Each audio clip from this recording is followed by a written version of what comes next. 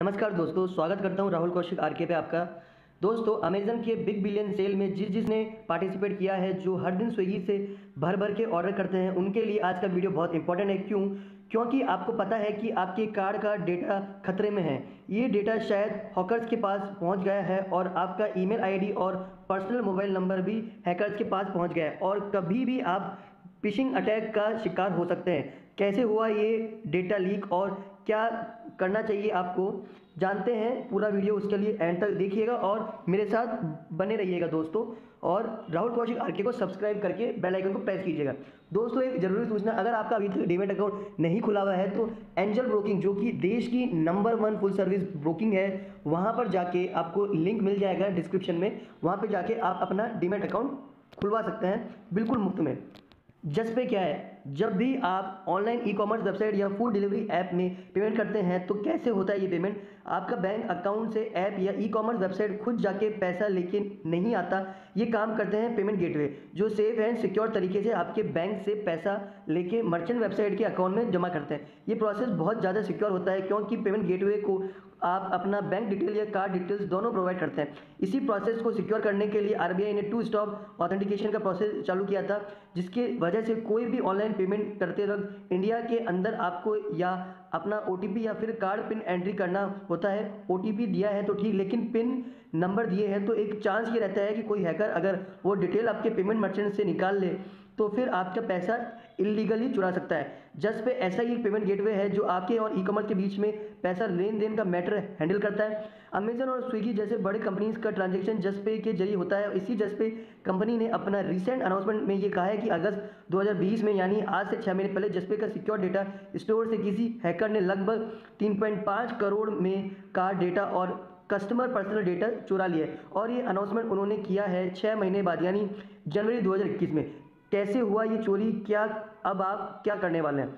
कैसे हुआ ये डेटा थेफ्ट जसपे की वेबसाइट में जाएँगे तो आपको दिखेगा कि वो अपना खुद का पेमेंट का ए डब्ल्यू एस कह रहे हैं। ए डब्ल्यू एस का मीन्स है अमेजन वेब सर्विसेज़ जो इनके टेक्नोलॉजिकल फंक्शनली का एक मेन पार्ट है। ए डब्ल्यू एस एक्सेस की एक ऐसा चाबी है जिसके ज़रिए इनके डेटा सेंटर को एक्सेस किया जा सकता है।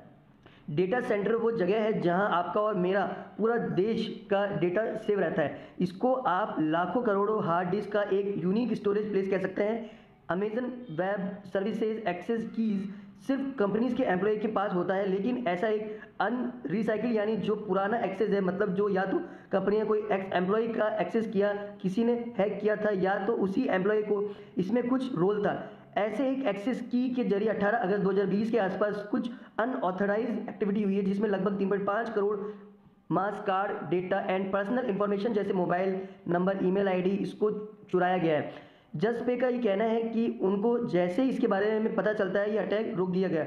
मास कार्ड डेटा में सिर्फ़ चार से आठ नंबर ही हैं क्रेडिट या डेबिट कार्ड का, और पिन रिलेटेड डेटा उसमें स्टोर नहीं होता है। इसलिए जस्ट का कहना है, ये डेटा ब्रीच से कंज्यूमर को फिशिंग का कोई खतरा नहीं है, लेकिन ऐसी बातें कंपनीज़ को हमेशा ही करती रहती है, क्योंकि अगर खतरा सच में ना होता तो फिर जसपे की क्रिएटिबिलिटी और भी ख़राब होगी और कंपनी डूब भी सकती है। इसमें एक्चुअल खतरा किनको है? कंज्यूमर को कितना खतरा सबसे पहले आप समझ लीजिए कि मस्केट कार्ड डेटा एक इंटरनेशनल फॉर्मेट है, जिसमें सिर्फ़ चार से आठ नंबर ही दिखते हैं। इस डेटा में कोई पिन नहीं रहता नहीं, इसमें पूरा कार्ड दिखता है। इसलिए अगर सिर्फ़ मस्कार्ड डेटा चोरी हुआ है तो डायरेक्टली थ्रेड नहीं है। लेकिन हैकर्स ने अगर बैक कैलकुलेशन क्लाइंट का नेम के साथ में बैक चेक किया पूरा डेटा का तो वो कार्ड का फुल डिजिट 16 डिजिट जान सकते हैं।